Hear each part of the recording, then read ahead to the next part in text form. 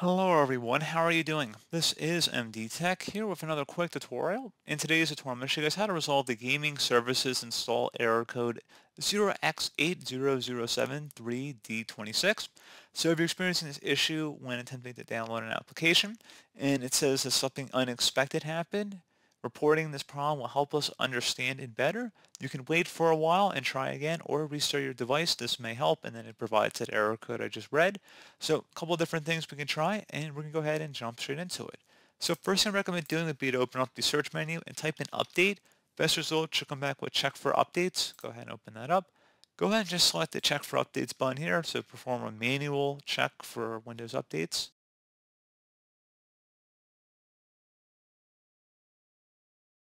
And then just give it a moment here.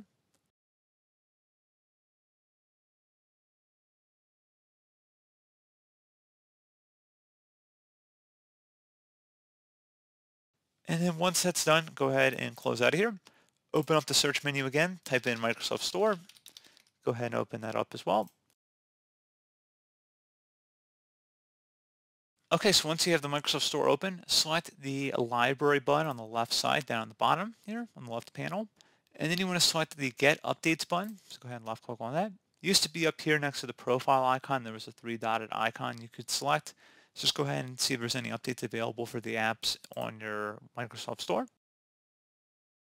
And you can see it looks like it has updated. So at this point, go ahead and close out of here now that we've updated both Windows Update and the Microsoft Store apps. And go ahead and restart your device.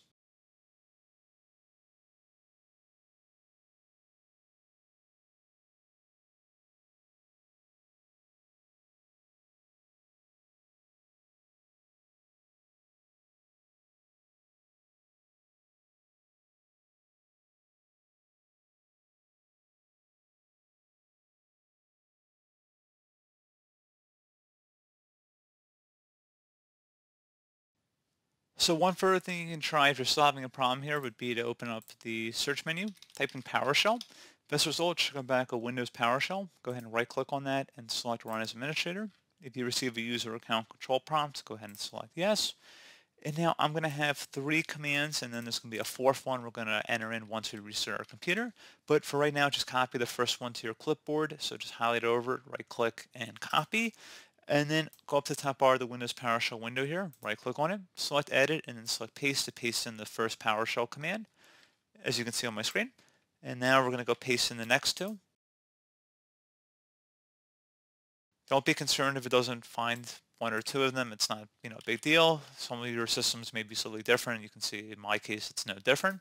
So go ahead and just paste in the third one here as well. So you see the first one already took care of it, so we're just giving a couple different options here. If the first one didn't work, that's why we have two more here. And worst case scenario, the command just won't execute properly. So no big deal, it's not doing anything. So anyway, once you've run those three, or at least attempted to run those three, you can see the first one did run, which is what we were going for here. Go ahead and close out of here and restart your computer.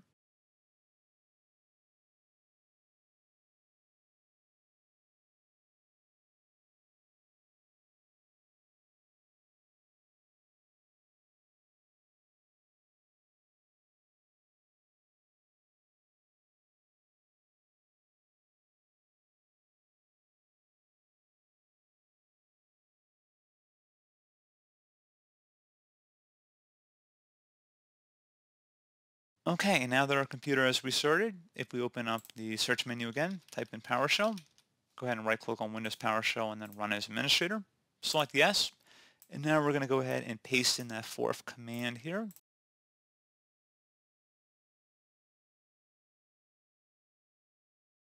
And there we go. I think that's about it. And there you go.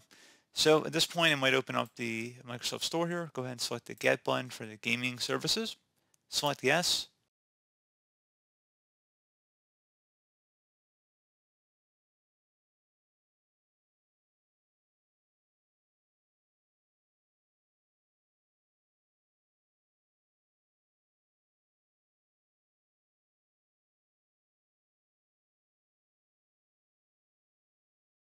So pretty straightforward process, guys.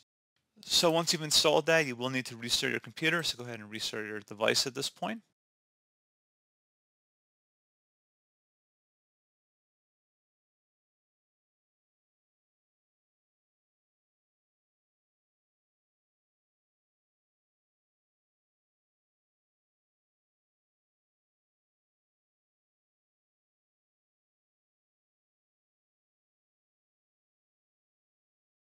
So pretty straightforward process, guys. Do hope I was able to help you out, and I do look forward to catching you all in the next tutorial.